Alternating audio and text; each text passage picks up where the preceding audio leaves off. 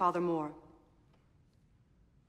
why did God allow Emily to become possessed by demons and then die? I can let Emily answer that.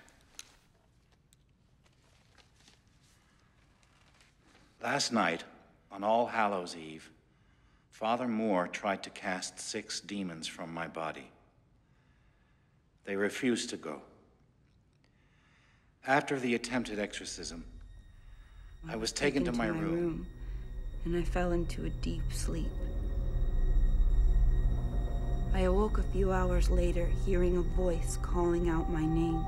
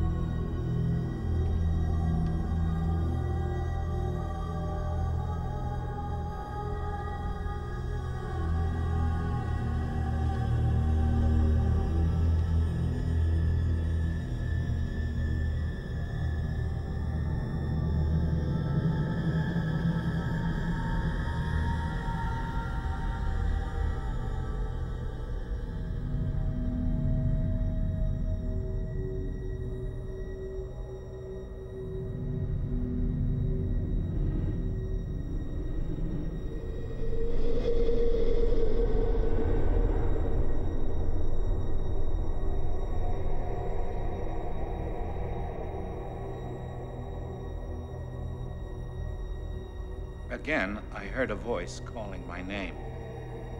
It was the Blessed Holy Mother of God. And when I looked at her, she smiled at me and said, Emily, heaven is not blind to your pain. She said the Virgin Mary spoke to her in the middle of a field.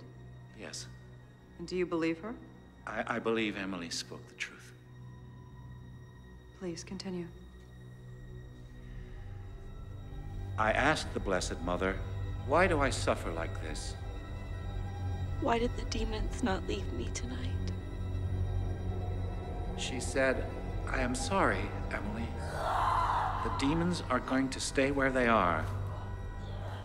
Then she said, You can come with me in peace, freed of your bodily form.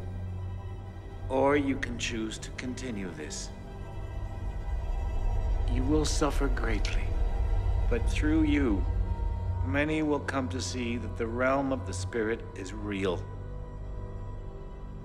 The choice is yours.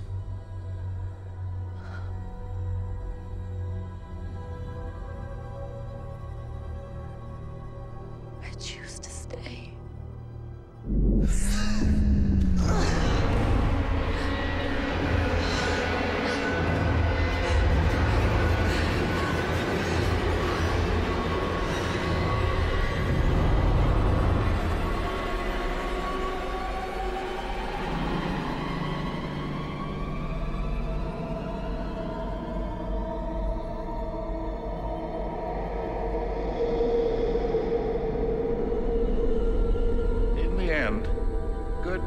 Triumph over evil.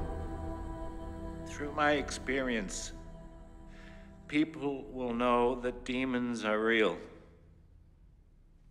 People say that God is dead.